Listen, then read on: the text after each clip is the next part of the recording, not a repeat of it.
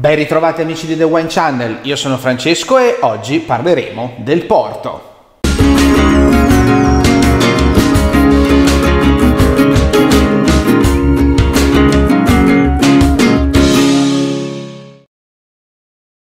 Continua il nostro viaggio attraverso i vini liquorosi e fortificati. Se la scorsa puntata abbiamo fatto tappa in Sicilia alla scoperta del Marsala, oggi andiamo con la nostra vista verso l'Oceano Atlantico e parleremo del Porto, mm, questo vino eh, portoghese mm, molto conosciuto che fa parte anch'esso della eh, famiglia dei vini liquorosi o fortificati. Eh, il porto in realtà però non è originario della città di Oporto, che appunto è la, eh, la città mm, che dà il nome a questo vino, eh, che è oltretutto una realtà portuale molto importante nel eh, Portogallo, ma in realtà viene da una zona un po' più a monte, se così si può dire, cioè nella valle del Douro eh, che è un eh, fiume che attraversa appunto il Portogallo e che poi sfocia nella città di Porto e, mh, mm, ci, mh, mm, e la zona di origine del vino si trova all'incirca 100 km a nord di questa città. Eh, qui su terreni di origine vulcanica e granitica e, e, beneficiando anche delle correnti che arrivano dal vicino oceano, mm, si producono diversi tipi di uve, tra i quali ricordiamo il Tinta Barroca, il Tinta Cao, il Tempranillo il Turiga e mm, da queste uve appunto otteniamo il vino base che poi addizionato con, con alcol eh, e che viene ottenuto tramite la produzione di acquavite sempre locale può essere avviato all'affinamento in botti di legno per ottenere il nostro vino porto. Anche mh, per questo vino, come abbiamo visto per il Marsala, è soprattutto merito degli inglesi se oggi possiamo degustare questo, questa bevanda. Eh, infatti il motivo è un po' lo stesso che avevamo visto eh, nella puntata precedente, cioè eh, le guerre tra francesi e inglesi. Gli inglesi sono sempre stati grandi estimatori del vino francese, ma essendo appunto in guerra non potevano eh, beneficiarne proprio per via del blocco eh, messo dal, alle esportazioni di eh, vino francese e quindi mh, pertanto gli inglesi si erano ingegnati per trovare dei vini delle caratteristiche simili da poter proporre sulle loro tavole mm, e qui cadde l'attenzione su questi vini eh, portoghesi che avevano mh, qualità gustative simili ad alcuni vini bordolesi prodotti in Francia. Ah, però c'era un problema, bisognava affrontare il viaggio ipermare per portarli appunto dal Portogallo verso l'Inghilterra e qui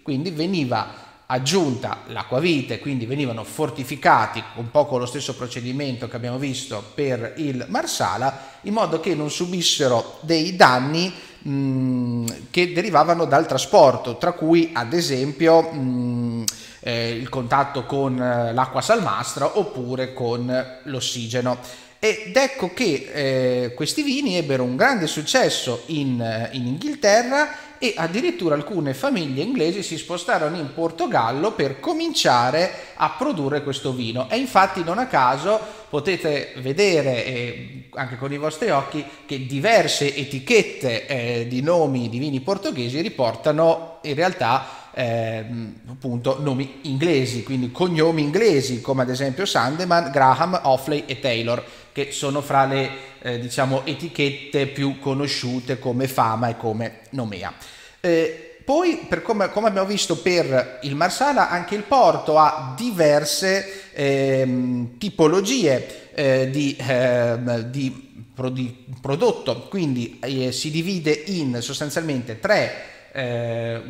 tipologie principali che sono il Porto Bianco, il Porto Ruby e il Porto Tony e poi dopo abbiamo tutte le varie derivazioni che sono degli mh, affinamenti o delle eh, diciamo particolarità eh, rispetto a queste tre tipologie base, tra cui eh, in questa puntata parleremo del Little Battle Vintage, del Porto Coelita, del Tone invecchiato con indicazione di età e del Porto Vintage. Quindi, mh, mm, partendo dalle prime tre, quindi dai tre diciamo porto base, abbiamo il primo che è il porto bianco, che nasce appunto da uve a bacca bianca e si gusta normalmente giovane e quindi ha un sapore diciamo più fruttato rispetto alle altre tipologie di porto. Inoltre questo è l'unico che eh, prevede delle distinzioni per dolcezza, quindi avremo un, il porto bianco semisecco, secco e dolce, quindi ha solo questo porto ha un'indicazione anche dei livelli di dolcezza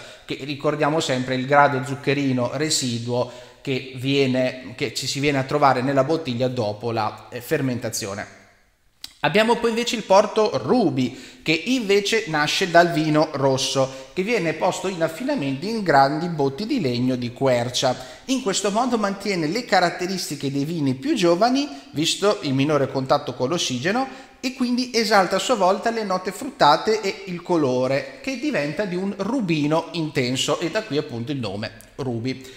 Il Porto Tony invece è una sorta di variazione sul Ruby, se così possiamo dire. Perché? Perché il vino di base è praticamente lo stesso, ma in questo caso, dopo tre anni di botte grande, viene passato in barrique, quindi con una maggiore ossigenazione. Quindi qui il colore prende una caratteristica più ambrata e il vino assume delle connotazioni più speziate. E quindi mh, mm, questi tre, abbiamo visto, sono i tre, diciamo, porto base da cui abbiamo delle varie eh, evoluzioni, per così dire, a seconda del come viene trattato soprattutto in ottica di invecchiamento. E partiamo ad esempio dal porto reserva che è ottenuto dalle tipologie di porto viste in precedenza, quindi c'è mh, sia fatto con il ruby, con il tony o con il bianco, che però in questo caso subiscono un invecchiamento ancora più lungo, solitamente minimo di 7 anni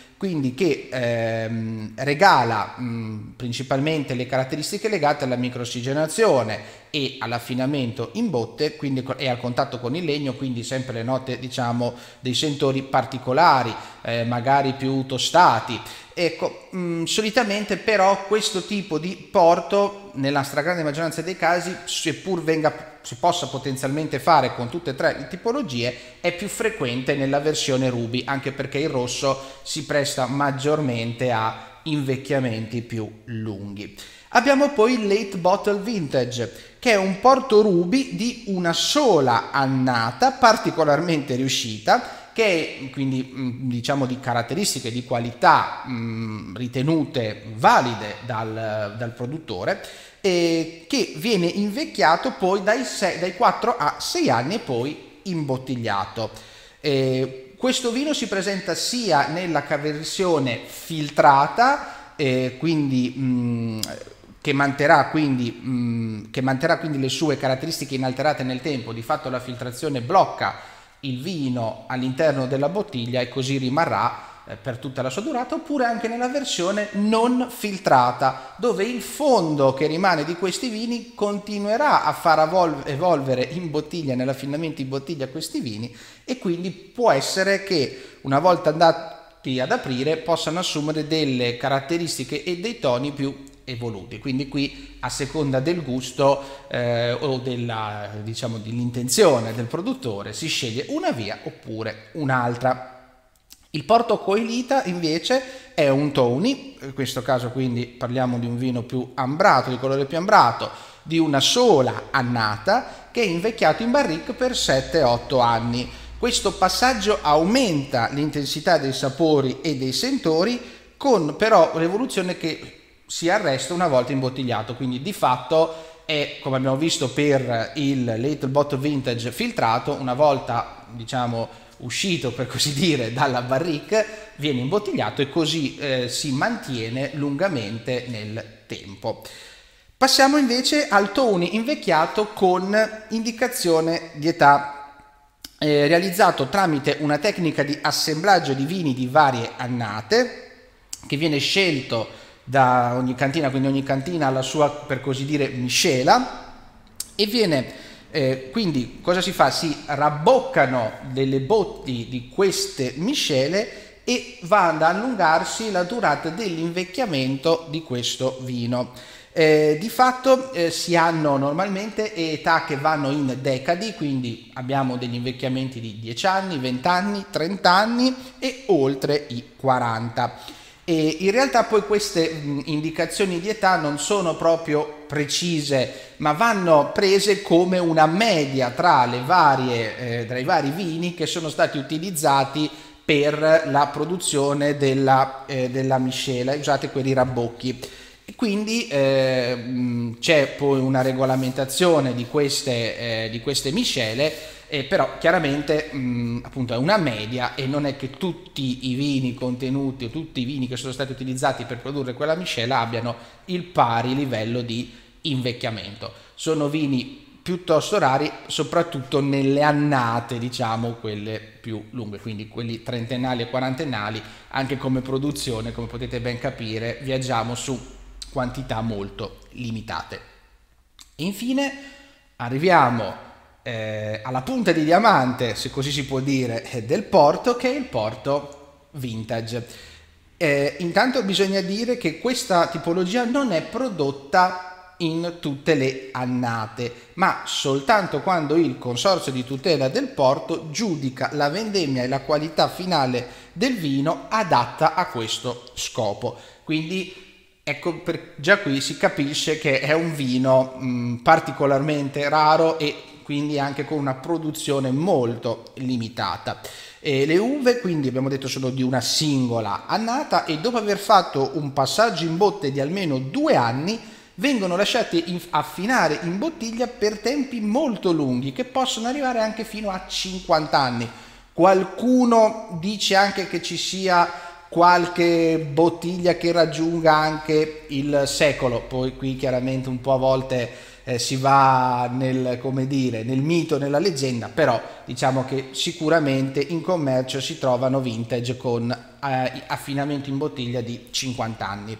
Il limite eh, però diciamo universalmente, se così si può dire, riconosciuto per apprezzare questo vino al, nel meglio delle sue caratteristiche è attorno ai 20 anni di affinamento.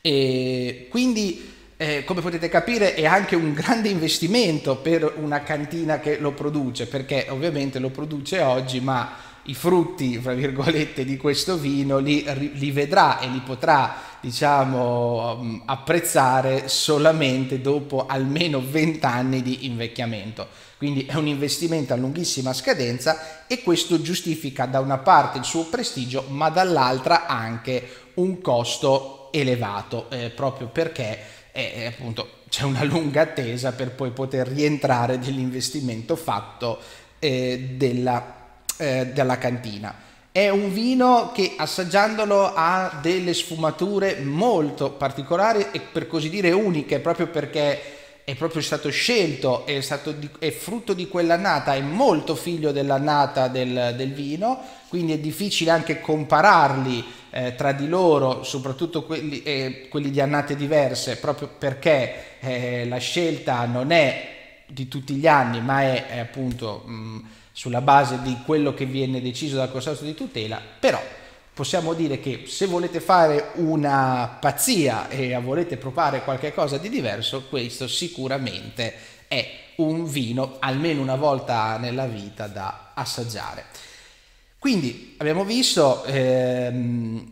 il Portogallo si dimostra anche lui un grande produttore di vini fortificati, con una grande storia, una varietà di scelta molto ampia, figlia anche dei, sia da una parte dei tempi che dei gusti che sono diventati via via più esigenti. Chiaramente in questa puntata non vi ho raccontato nel dettaglio tutte le tipologie, ce ne sono ancora molte altre, eh, ci sono anche varie eh, tipologie di invecchiamento, scelte di cantine diverse. Eh, chiaramente questa era solo una puntata per darvi una visione un po' eh, generale, un po' a grandi linee di questo, di questo prodotto, però come sempre eh, la realtà è poi molto più ampia, soprattutto dove mh, ci sono vini che molto spesso sono figli di scelte delle singole cantine e non di eh, diciamo disciplinari eh, di produzione ehm, molto rigidi eh, ogni tanto anche qualche cantina propone qualche prodotto un po' diverso dal solito eh, proprio per eh, inventare qualche cosa di nuovo. Questo è quello che succede anche un po' eh, qui da noi quando si esce dalle, dalle, dai disciplinari delle varie DOCG e delle varie DOC. Alcune cantine provano a fare qualche esperimento e così anche il porto si presta molto a queste tipologie eh, di eh, prove e così dire di prove ed errori. E magari quello che posso consigliarvi è eh, detto che molto spesso al supermercato potrete trovare del porto ma ovviamente sono le marche più commerciali e magari quelle anche qualitativamente non diciamo superlative per non usare altre per non usare altri termini però magari se vi capita la possibilità andando in enoteca oppure vi regalano una bottiglia di porto di un certo tipo, provatelo, assaggiatelo mm, e magari adesso quando si potrà, adesso per il momento, al momento non è ancora diciamo così eh, possibile o comunque così consigliabile fare dei viaggi in terra straniera, però eh, se vi capiterà di andare a fare un tour del, del Portogallo sicuramente quello può essere un buon eh, motivo per andare a degustare, a incontrare i loghi del, di produzione del porto e ad andare a assaggiare questo che può considerarsi anche quasi come un pezzo di storia molto importante del vino. Bene, e anche per oggi eh, il nostro viaggio alla scoperta dei vini fortificati e liquorosi termina qui. Però, come sempre, se avete qualche dubbio, qualche domanda, qualche perplessità oppure qualche chiarimento da chiedere sul porto, ma così su qualsiasi altra puntata, qui sotto nei commenti potete farmi tutte le vostre domande, magari se anche scrivete l'hashtag AskTheWine, questo mi permette di eh, intercettarlo ancora meglio e di rispondervi ancora più prontamente. Vi ringrazio eh, per tutte le visualizzazioni e per tutti anche gli iscritti. Era un po' che non facevo dei video, eh, quindi approfitto per ringraziare di tutti quelli che si sono iscritti finora. Siamo arrivati al traguardo degli 800 iscritti al canale, che eh, solo eh, un anno e mezzo fa per me era un numero, come dire, irraggiungibile. Vi ringrazio, continuate a eh, condividere questi video se vi, chiaramente se vi piacciono se li ritenete interessanti con amici, parenti, conoscenti e con tutti coloro che possono apprezzare il mondo del vino per aumentare le nostre conoscenze. E come sempre vi eh, saluto ricordandovi le solite fondamentali regole della casa. Il fatto che non bisogna bere il vino se si è minori di 18 anni e non va soprattutto bevuto prima di mettersi alla guida o fare attività pericolose. Anche per oggi quindi ci salutiamo qui, un ciao da Francesco e arrivederci alla prossima puntata qui su The Wine Channel.